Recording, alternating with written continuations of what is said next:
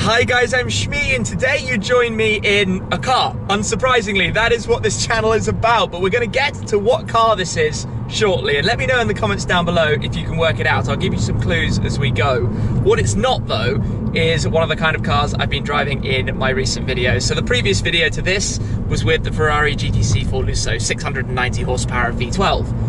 Previous video to that was the 812 Superfast 800 horsepower of Italian V12. And the previous video to that was collecting my friend Greg B's LaFerrari Aperta, a 963 horsepower hybrid V12. This is not a V12, as you can probably tell. It's something a little bit different, but if you can tell from what you can see, you've probably got a view that it's a hatchback. You can see a little bit of the steering wheel, not too much, do let me know. What I'm gonna do today though, while I'm just cruising along on some very nice Scottish countryside roads, just give you a bit of an update, what's going on, um, where I'm at, what's happening this year. And you may or may not have noticed that up to this point of this year, I have uploaded a video every single day. Um, pretty much actually since mid-November, which means about eight months of this year doing daily videos for you guys. Always I think, interesting content, sometimes pieces that are just rambling on, letting you know what's going on, but specifically content pieces with a subject about a car, about an activity, about an event, um, about a specific you know, purpose. And I guess that's quite ironic given the video I'm shooting right now. But hey, that's what it is. Um, today I'm out driving in Scotland because this time of year for me actually, it's all of my family have their birthdays right now, apart from me. Uh, my brother, my sister, my father, and my mother's is very soon as well. So I actually need to go to the shops and buy some presents. Unsurprisingly, that's kind of what happens. But today, out in a rental car, none of my cars are up in Scotland. You probably remember the Focus RS used to be up here for quite a while, hence why I'm driving in this, which is a British car. I'll give you that clue. I'm in a British car, has a manual gearbox. You've probably seen that I'm driving with that. A five-speed manual though. Um, and it has a grand total of 100 horsepower. 100 horsepower at 130 newton meters of torque, which means pulling out of the junction here, I can put my foot down completely flat to the floor. Away we go, that beastly engine there. Yeah, we're not going very quickly. Anyway, and finally 40 miles an hour. So it's uh, not necessarily the most powerful thing in the world. Actually, in April, on April Fool's Day, I shot that video you might remember of um, I'm selling all my cars when I was driving in a Volvo. Because normally when I rent a car, I've done this a lot, I have a Hertz Gold card, and that normally means I get upgrades. This time around I didn't. I always book the cheapest. This is the cheapest category, I guess. Although actually, maybe there's like a category below, I don't even know. Um, but still, um, not the uh, not the fastest thing in the world. I mean, rental cars actually quite an interesting one. I drive quite a lot of rental cars on these travels. Um, and I don't normally show it or film them because they're obviously not very exciting cars. But I've driven a lot of things like Kadjars, Astras, Focuses. Um, I had a Q3 once, that was quite nice. Um, Shogun, big cars, small cars, you name it, any cars. Um, so I get to drive, I guess, quite a few normal cars and often quite new ones. This one's only got uh, 3,000 miles on the clock. It's a fairly new model car. New model actually came out two years ago, 2015. Um, completely new model, uh, not like a facelift or anything. So that maybe gives you a clue as to what car I'm driving. Um, but you guys must have car rental experiences as well, and I thought this was quite an interesting topic actually. So there's a Qutee down below. Head on over, and let us know. Have you had any like great cars, like amazing free upgrades, or have you had any total disasters where you've like turned up to the airport and you've had to go a mile away to get the car, massive walk with your luggage to only be sent somewhere else, and then like a massive premium for insurance and all that jazz. I don't know. I'm definitely, definitely sure that between you guys there are some pretty horrendous car rental experiences, but hopefully some cool ones as well. Have any of you ever rented a supercar? That's quite interesting. Has anybody ever actually like rented um, a Ferrari or a, a, Lamborghini or been part of a member club of this kind of sort. That'd be quite cool as well. Or done one of the track day experiences, those are fun. Um, so I mean, all sorts of different ways you can rent cars. For me, this is a car I think that starts at about sixteen thousand pounds. So still quite nice, still quite a nice car, and the equipment and stuff in here is great actually.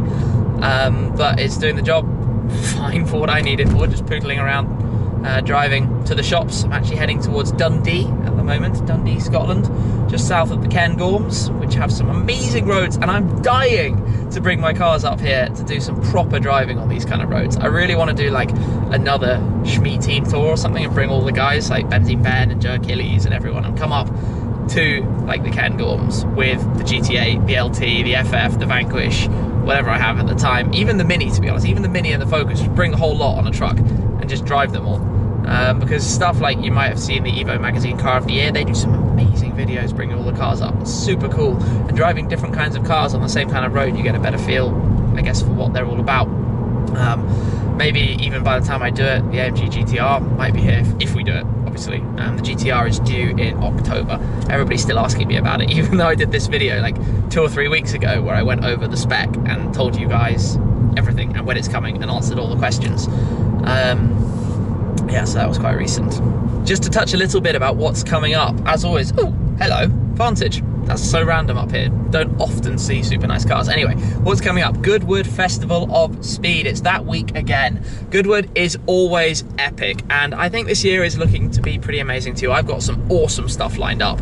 Um, last year, I dropped two pretty big surprises on you guys the Vantage GT8 and the AMG GTR orders, and I don't think I'm going to be doing that again. Or maybe, who knows? Watch this space.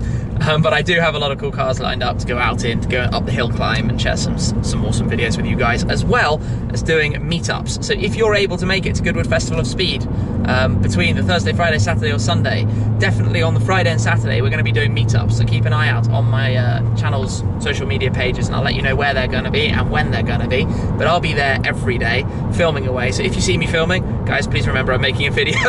um, I'd love to say hello and chat to you and as soon as I put the camera down, more than happy to do so. But videos first, kind of, because you're all watching this after all.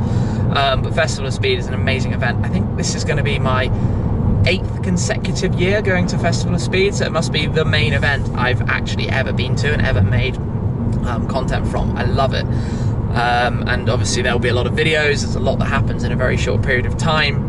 I'm hopefully going to have one or two of my cars on display on various different stands, so you'll be able to see them if you're around um, if you're at the event. So it's a really, really good one, and I'm really quite excited about it. Then it launches pretty much into summer stuff. So I'm going left, right, and centre, loads of short trips, things going on, um, other events and activities. Um, no major road trips, none of the kind of massive where Shmee trip or that kind of thing. Uh, just seeing friends, hanging around Europe. Um, hopefully making some cool stuff and lots of awesome test drives. Although, as you'll probably agree, the recent videos, I've driven a Chiron, an 812 Superfast, 720S. It's been like awesome car after awesome car after awesome car, and I know where I am right now, and I'm going to turn this way because it's an awesome road.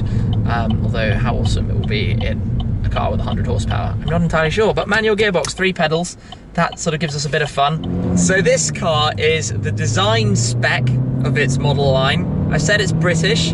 It's got a 1.4 litre petrol engine, revs up to about 6,500 I have no idea if you've worked this out by now. It's a car I don't think I've ever driven one of before. However, I've done 60 miles in it since I picked it up, and it's still over full on the fuel, so it's definitely on the efficient end. Claims about 53 mpg combined, I think. 5.3 litres per 100 kilometres, so quite efficient, but it's not quick. It's definitely not quick. Fourth gear, foot flat to the floor, 55, 56, 57, that kind of thing, as the speed slowly builds up.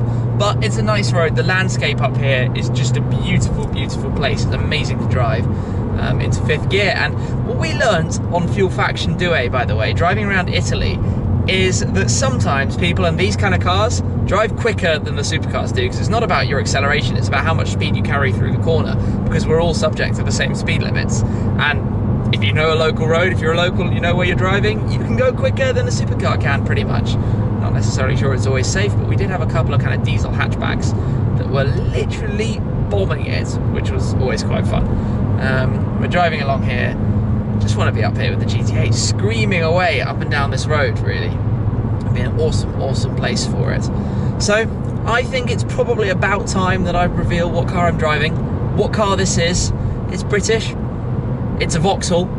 Vauxhall in the UK is Opel in Europe, if you didn't know. It is an Astra. It's an Astra design 1.4i 5-speed manual. It is a beast. Very much rental car category, but probably a car that some of you guys are actually interested in. Um, and being the newish or the latest version of it, it's quite quite similar. It's quite nice actually to drive in regular cars sometimes and see their sort of quirks and pros and massively underpowered, um, but the power delivery is quite nice on its way up. Um, gearbox is super soft and easy. I mean, when you're driven in a car like the GT8, and even in the Focus RS, the clutch is like the lightest thing ever. The gear stick just moves, flip it a little bit, not that it revs very fast. But screen-wise, it's neat. It connects to your phone. It's got this stuff like to go into the gallery on your phone and load up your pictures if it's connected via Bluetooth and whatnot, which is kind of neat. I don't even think many much more expensive cars have that. Um, feels a bit wafty on the roads compared to some of what I'm used to, but it's practical. There's five seats. There's a decent boot behind that as well. No problems with my suitcase, and it's got this kind of um, riveted boot floor, which means your stuff doesn't slide around as well. All of these things that normal cars have that just don't make it into much more expensive cars. But anyway, what car am I driving? An Astra, 1.4 litre Astra, five door hatch, the beast, we shall call it.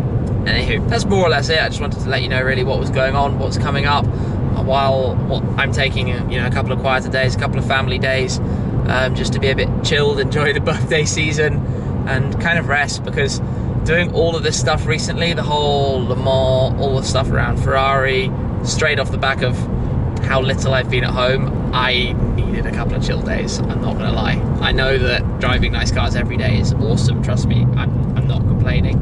But sometimes all the travel, I think I've I've slept at home this year so far, well, in the last kind of three months, all maybe 20 nights in three months, 15 nights in three months, that kind of thing. So sometimes it's nice to just chill, take a step back, not get on a plane. This year I'll probably get on a plane more than 100 times. I think this is already like the 100th or so car I've driven, and we're only halfway through the year, which is kind of scary. Maybe it's like 80 or 90 or something, but I've got a list, and at the end of the year, like this year, I'll come back to that. Um, I mean, the Huayra BC already this year, the Chiron this year. Goodness me, check out those videos if you haven't already. Some awesome stuff. And I've done some new shuffling on the Shmee channel as well. If you go back to the Shmee 150 channel page, um, there's new kind of playlists and things, so separating out the different videos depending what you want to see. Um, so hopefully it's easier to find old stuff because a lot of people say, when are you going to drive this car? And there's actually already a video on it because, you know, making probably 400 videos a year in total because a couple of doubling up things are at big events like Geneva. Um, there's a lot of content out there, guys. Um, a lot of even just my content out there. So hope you're enjoying it. I just wanted to catch up quickly today, um, let you know where I'm at up in Scotland again. Um, and that's pretty much it for now. So I'll catch up with you again very soon. Thanks as always for watching. Do check out the uh, Qutee. Let us know about your experiences of rental cars. But also, obviously, have a look back at some of the recent Shmee 50 videos if you haven't. Um, and hopefully you'll find some cool stuff there. Anyway, thanks again, guys. I'll catch up with you again very soon. Cheers.